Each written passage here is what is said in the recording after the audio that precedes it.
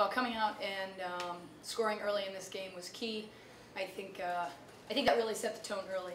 And Kristen Wood gave us some good quality innings. Amy came in and, and held them off the scoreboard in that inning, and um, you know that that was pivotal. But I think um, the key was that we had the pressure on them all day. You know, I think we uh, we missed some opportunities to score, but I think our defense and our pitching was outstanding. You know, in a must-win situation, not just to advance in the tournament, but to keep postseason hopes alive, starting early, did that take the pressure off even more so? No question about it. I think it, it um, you know, it, it really allowed us to be aggressive from the mound and defensively. So I really like that. You know, we've been in this position for weeks now, so um, we're. I think I'm really pleased with the attitude and our mentality each pitch. Sabrina, that starting fast was uh, something that we needed to do today, and we did. Right.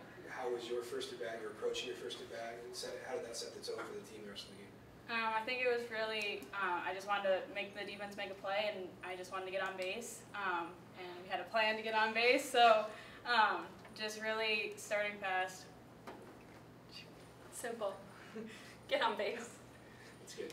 And Amy, um, Ohio State did a good job of getting on base as well, but you did a better job of, of shutting down the rallies before they could really get started. Um, how was how was your day in the circle? Um, it was good. I think that I was just focusing on going right at them. Um, it's really fun to come in after Kristen Wood. We throw very different, and it works well together. Um, it works well coming in after her, and I actually I don't mind being in in pressure situations. I've done it my whole career, and it's no different today than it has been the past 50 games in the past five years. Um, I think that that's a moment where I like to step up for my team, and also our focus this year has been on letting the defense make plays, and our defense did that today, which really helps. Uh, Kate, it's been it's been a season of ups and downs. The team has been playing very hot lately. Learned the lessons early in the season. How does that carry into tomorrow, which is a very big day, two games? You know, it's it's about keeping it simple at this point, and and even when we just talked after the game, it's about okay, how are, how can we get a little bit better? You know, what did we just learn from that game that's going to help us tomorrow?